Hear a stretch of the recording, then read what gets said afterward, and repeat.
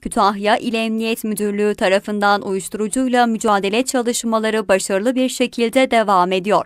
Uyuşturucusuz bir Kütahya ve Türkiye hedefiyle faaliyetlerini tüm hızıyla sürdüren ekipler 5000 kişiye ulaşarak farkındalık oluşturdu.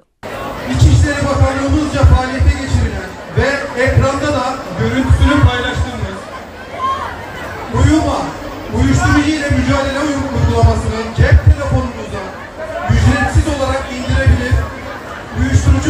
kullanımına veya ticaretine şahit olduğunuzda karşılaştığınız bu durumu varsa fotoğraf veya video eklemek suretiyle görselimizdeki butona basarak çok pratik ve seri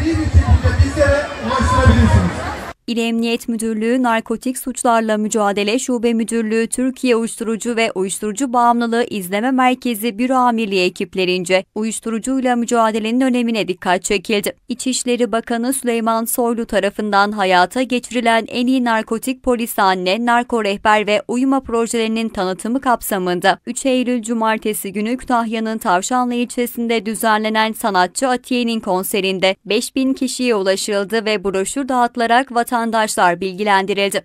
Tavşanlar, bu güzel gecede sizden bir şey rica ediyorum.